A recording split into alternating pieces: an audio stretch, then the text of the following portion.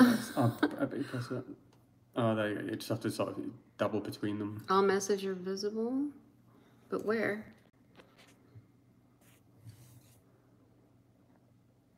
Alright, I'm gonna go get my glasses. No one's here. I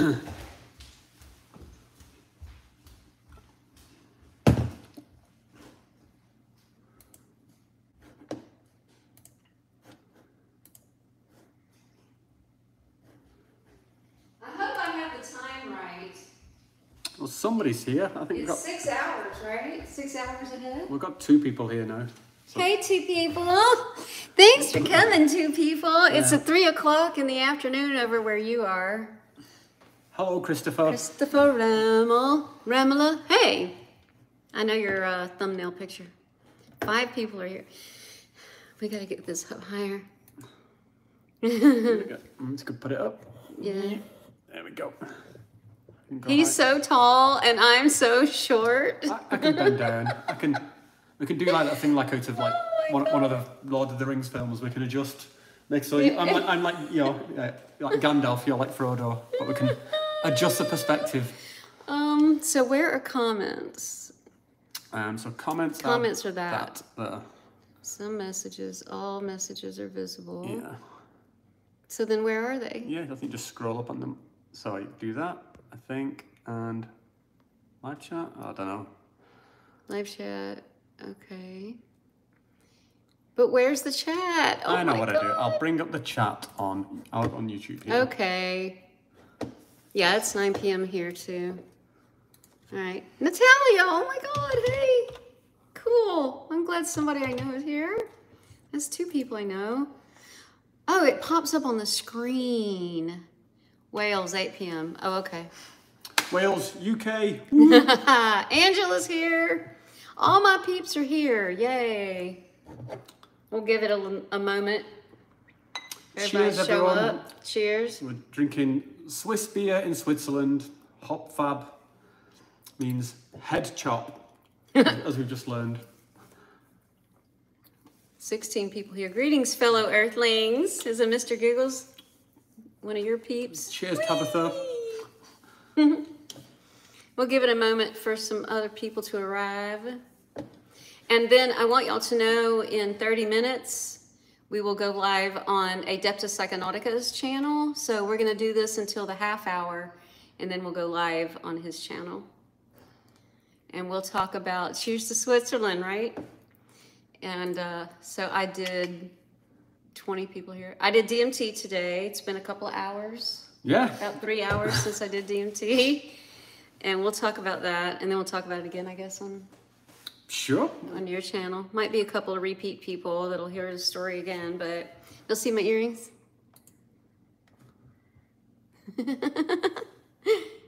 Thanks, LMP. You can pull up the chat. Yeah. So he's going to pull the chat up on his computer so we can read through. And you can read questions to me if you want. Yeah, I already did it, Angela. What I decided to do was just record doing it. And I'm going to upload it to my um, private patrons on Mushroom Voice because I sure can't put it on YouTube or, you know, they'll take my whole channel. And then give it a couple of weeks and then I'll upload it to my website under I Do Entheogens on camera. I'll upload it to that playlist and y'all can watch it. Although after I tell you what happened, nobody will want to. oh God, yeah, I can see better without these. Hello. Hey, Caleb. Oh my God, Caleb's here. Yay. I can hear it echoing through. I need to mute that. Well, you're looking so well. Such a change when I saw your live last. Oh, thank you, Tabitha. We have something in Russian, but I don't. I can't read it. Yeah, I, I wouldn't even want to guess at how to pronounce that. But hello. Yeah, I don't want to do it wrongly. I'm just hanging here. I got in. Um, I took the train this morning, and we just hung out and chatted, and then um, I did DMT, and then we left and went shopping around, and then went out and ate or whatever. So it's just been like a really chill so far thing, and I've got my tickets for RMC. I'm so excited to meet you. It's, it's, it's bizarre that you describe it as like a chill day when we've done DMT, we've been, in, we've been like a fairground, we've been in like a walking through a fun house. But that, that, that's a chill day, which I suppose says something about how crazy the rest of, of your time has been while you've been traveling. But yeah, I don't know. I don't know if I'd describe it as a chill. It's been a fun day. I've been, I've been really It's enjoying. been fun. It actually really has been fun. Yeah, it hasn't been chill. been busy. It's been busy We and packed- we- fun. we I guess, but that feels chill to me. Yeah, it's, it's good because it's you know spend time with people who enjoy the company. That's, Yeah. And I guess it's chill because there's no, it hasn't been any rushing. And like, usually when I'm on work trips like this, there's just a bunch of rushing. But I did a really large psilocybin uh, trip. I had something really rough happen. Um, I'm making this desk shake. I had something really rough happen right before I. Um, oh, it said hello in Russian. Natalia, thanks for the. Thank you. Um, so anyway, I called up Rob while I'm in Paris, and I'm like, Rob, I'm like, I'm not doing okay over here. Like, I'm having panic attacks. I need to get some some kind of psilocybin ceremony or something. So he set one up for me, and I did that. And I've just kind of been hiding out at her place, you know, this shaman's house for like the last three days. And I have like a lot of ahas coming out of it. And the number one rule they gave me, my lesson, the work that I'm to do, is I have to be graceful to myself, kind to myself, loving to myself, and I have to move really slowly. So as soon as Rob picked me up from the train, he's like just walking so fast. Yeah, yeah. And finally, I'm just like, hey, she's got to slow down. My human has to go Oh, hold slow. on, oh, oh, oh, hold on, time, time. I want to put a bit of context in here, right? Yeah.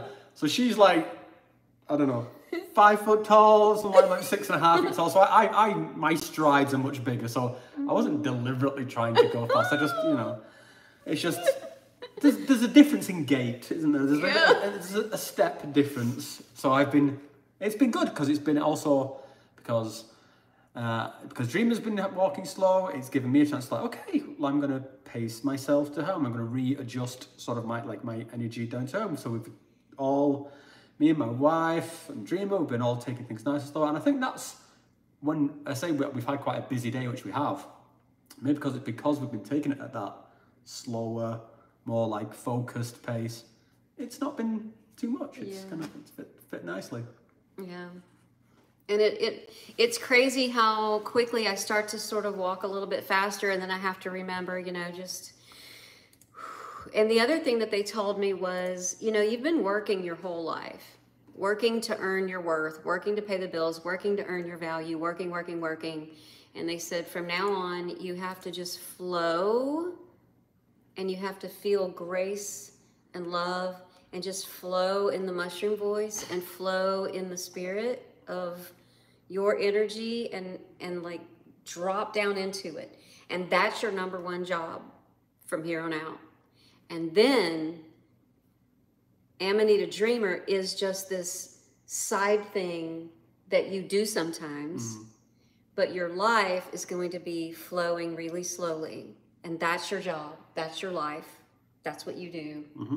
You're not amanita dreamer. You're this energy being that's just going to flow through life very gracefully. I'm like okay.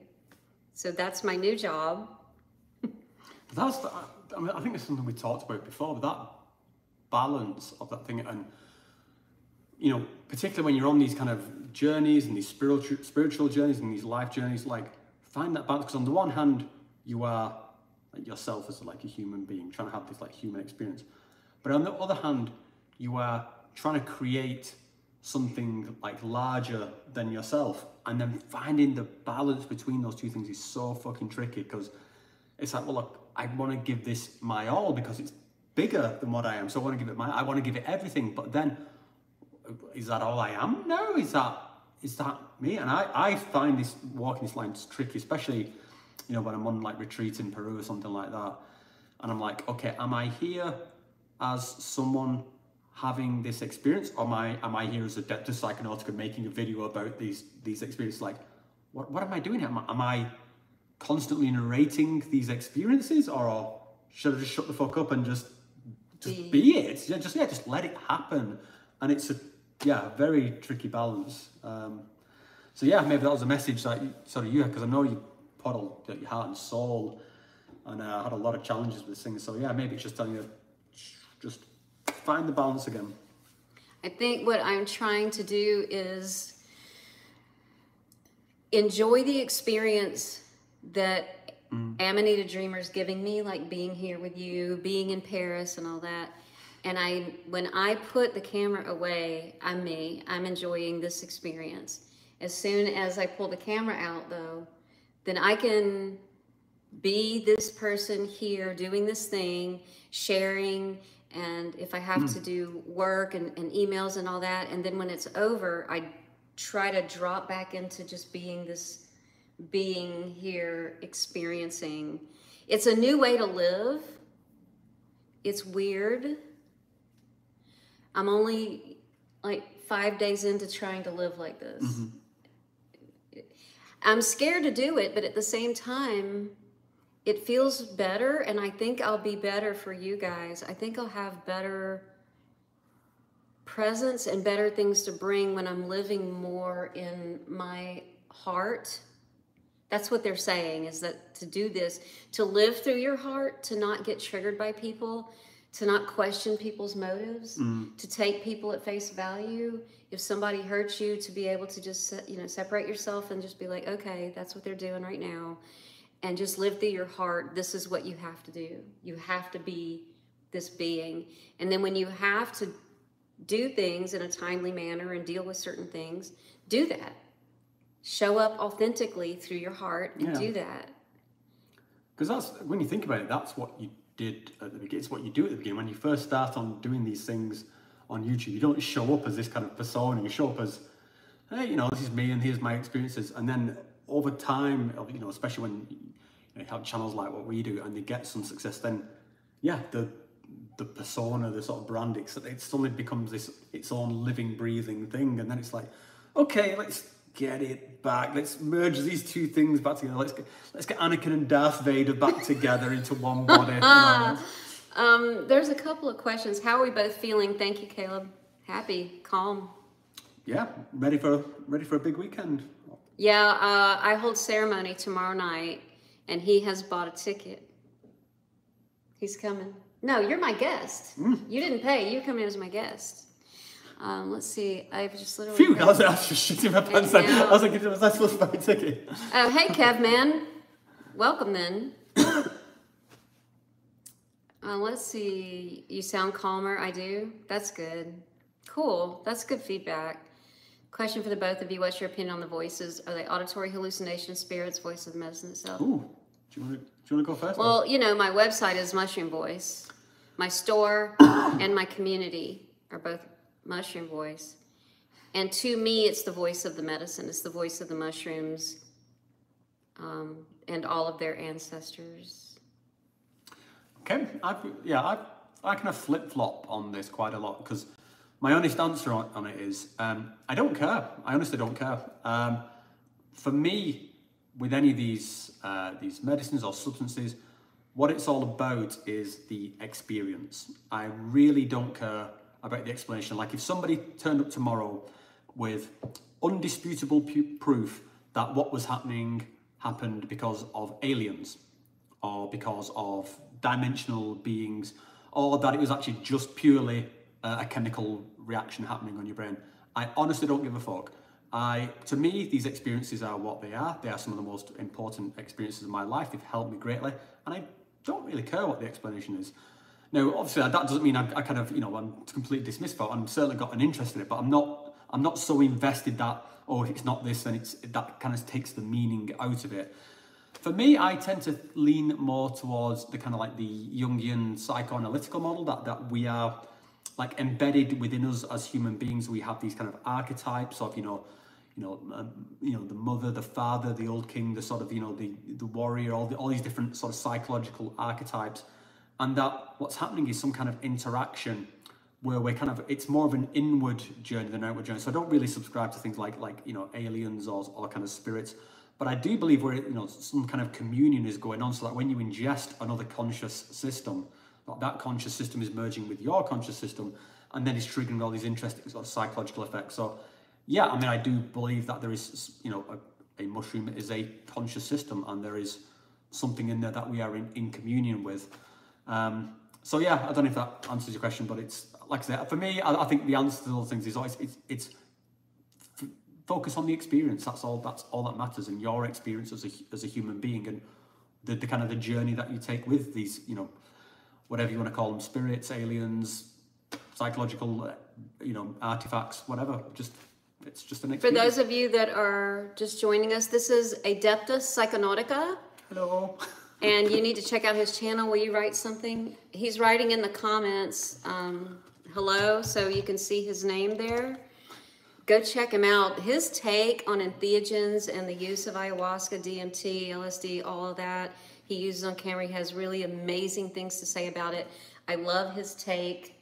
Uh, he became my brother across the pond because I started watching his stuff and I'm like, fuck yeah, that's exactly how I feel. I just couldn't say it like that. like you said it perfectly. Thank you for saying it like that. so if you all like my channel, we had there's we have a lot of crossover with Mm-hmm. yeah. our with our channels. So he says hel- hello in the chat there. So mark his channel, subscribe to it or whatever. And at um, 30 past the hour, we're going to close this and then we're going to go live on his channel. So if y'all want to jump over there, you can do that. And then ah, you just put out a video. The, what was the most recent video that you? And I was like, you said it better than I could. Um, what, what was it? It was a few weeks ago now. What was the last one I did? It was. I'll have to go and check. Um, I should probably know, shouldn't I? And it made me want to go make a video about it. So it's coming up. I've got it in the queue. It's scheduled on my channel. I had to set up a bunch of videos to happen while I was here. And my take on it is coming up. It was. There's no such thing as a. There's no As such thing as a bad trip. trip. There's no such thing. So mine already posted my take on what bad trips are, but you really need to hear his take on it. It's it just he did a better job than I did on it. And then uh, there was another question I wanted to answer. Can you pull the chat back up? Yeah, sure. Um, go on. Is that a labradorite necklace? Your necklace, labradorite? Um, I don't actually know because I'm not. I'm not particular expert on these. What when I I was I got this when I was uh, I do a lot of ayahuasca retreats in Peru, and I always try and buy stuff when I'm there.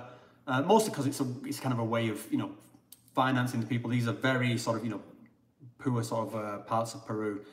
And I just saw this one and it just spoke to me. It was just so shiny. And when I actually, there's actually an imperfection in it. It's kind of chipped here, but I kind of, I like that. And yeah, it just, yeah, I, I don't know. It just, I think it is. Yeah. I think it is. but I love how sort of twinkling reflective it Yeah. is and sort of meta- that metallic glow. So I did uh, DMT today, and I wanted to talk to you about it real quick, and I'll talk about it on his channel too. So as soon as I dropped in, and they took me away, um, it as soon as I went, like there, it's I took off immediately. There was no hanging around, but I went to a place where immediately there was the whoa, that sound, you know, and it was kind of etchy, but also just like that that zzz, and and all of the beings and the things that you see that rotate and all the colors and all the faces and all of the DMT beings were there.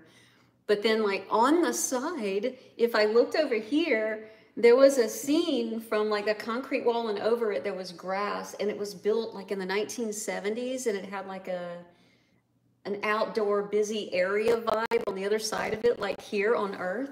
And the concrete wall was right here beside me. Mm-hmm. And if I looked over there, it was terrifying. So I would look back over here at the DMT alien people things. But their faces were mean and ugly and scary. They weren't whimsical or funny.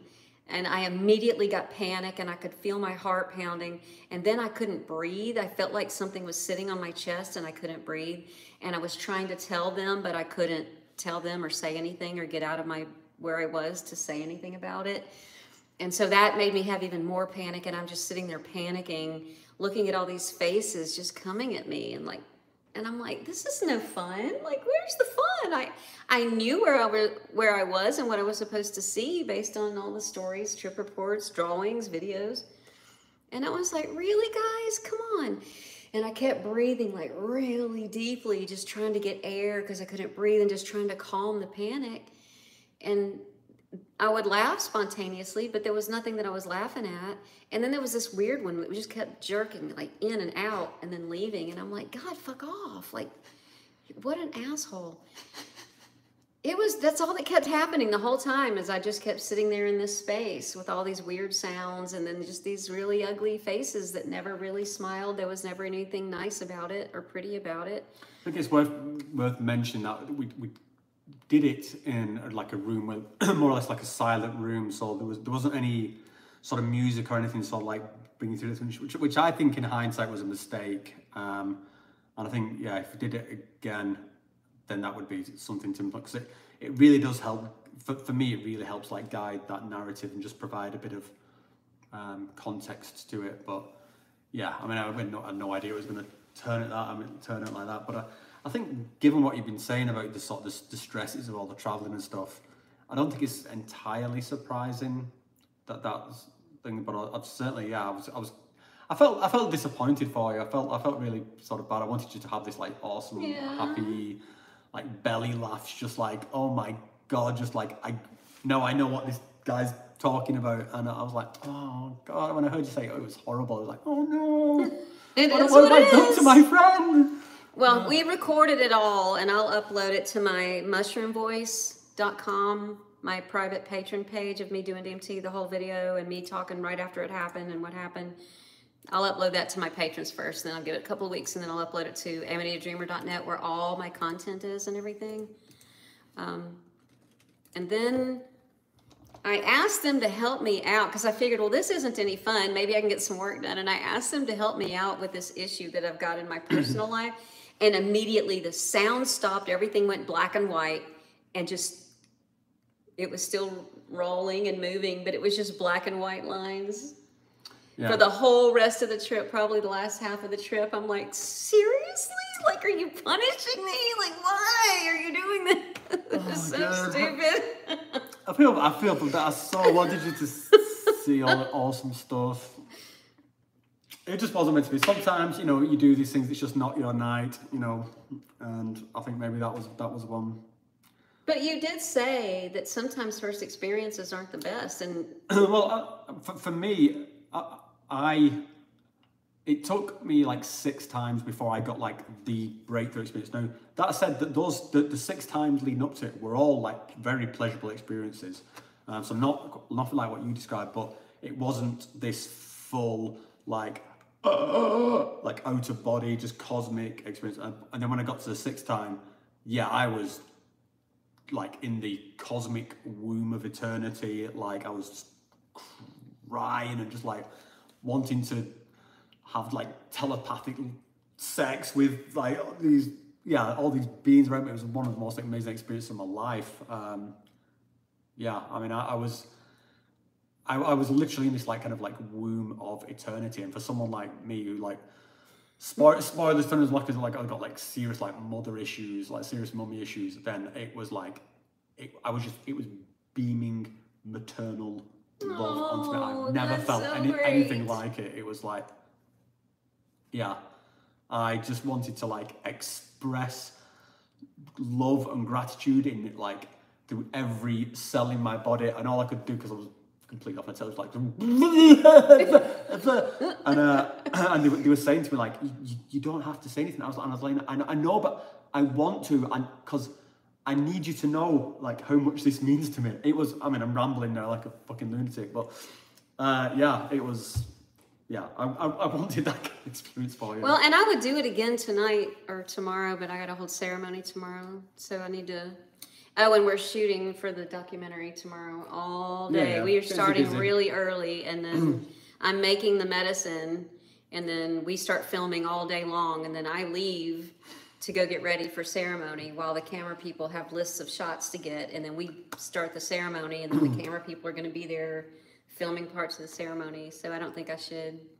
Um, what's your opinion on respecting the medicines before entering in a journey? I mean, yeah. Well, you should always respect the medicine. You don't respect the medicine, you'll You're gonna get fucked up. yeah. But I think everyone has different ways that they show respect. So, like I do, I have mental com- communications, and sometimes I speak verbally, you know, and have like my own thing with it. And in holding ceremony, I have found that each person has a different thing that they want to do before they begin. And that's how they show respect. So I think it's like, Yeah, I, th- I think it. I mean, it depends on, on the certain because different people have got like, different ideas of what kind of showing respect means, and some people would say, like, you should only ever use these things in like a ceremonial way, I should only ever use them in, in like a spiritual way. And I think, you know, I, I- don't think there's anything particular wrong with um, using some of these substances. Again, it varies depending on the substance. There are times and places to do it. Like I would never do like ayahuasca in a nightclub or something like that. But there are, you know, there's a, occasions where it's just, you know, to do something just to just to be with somebody, just to sit there. You know, I, me and my wife, we do stuff just to be together, and it's some of the most spiritual experience. We're not trying to be spiritual. We're just trying to be together and have an awesome, like you know, like loving time. But that does I think there's nothing wrong with that. Or just like, hey, let's just have let's just have a time together. Just remember how awesome everything is. Let's have something shows the universe and shows the galaxy and our place in it and stuff. And yeah, that's fine. And then there's places, you know, times for okay, like, like help me heal. Like there's so there's different. It's tools in the toolbox, and I don't think it kind of. Um, I personally don't think it's like you know should get too much into the dogma of this should only be used like this. Where I mean, obviously that's with common sense. Like I say, don't be doing things like you know, gatekeeping. yeah, yeah. That's all gatekeeping. Yeah. Yeah. And I know with Amanita, they're so joyful, playful, jolly, laughter. But man, they can get in there with the medicine when they want to. Um, let's see. Can you two tell me how to set up mushroom ceremonies in the UK? I work with Liberty Caps, feeling called to work. Um, I don't actually live in the UK, so I'm, I'm from the UK, but I don't live there. Remember, we're, we're, I live in Switzerland, which is where we are now. So, how to set up mushroom? I mean, I'm sure I could give you some pointers on how to set up mushroom ceremonies in general. Um, but like, you know, you have to be particular with the UK. I- I know they're very um, yeah, the legal situation's not great. So you'd have to, I think one piece of advice I give you is like, be very careful how you advertise such things in the UK. Like the police can be absolute assholes. Um, which is one of the reasons I left.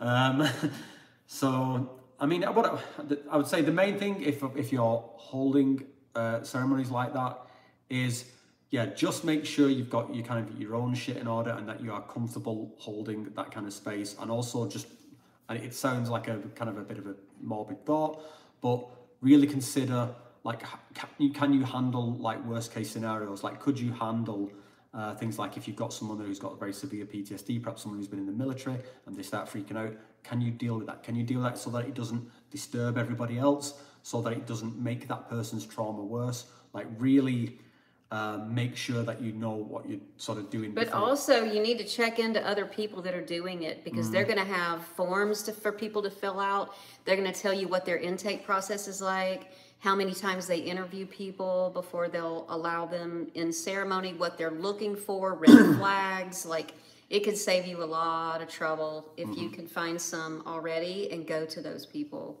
But yeah, but just as a quick shout out with, with the, the Liberty Caps, I mean, that was, yeah, that was, they kind of just grow everywhere all over the UK. That was like part of the thing is with this time of year when we were kids, you'd go back to school and on the the fields around our school, they would just grow At school, everywhere. really? Yeah, yeah, Oh you could go to, go to school. You went to school like an, an hour early in the morning and you were just picking magic mushrooms for an hour before school and you would end up with bags of like magic mushrooms. It was, Well, we're gonna pick this up over at Adeptus Psychonautica's channel, and we're gonna hang with his folks. If y'all want to come over and hang over there, thanks for joining us. I love you, beautiful people. Bye.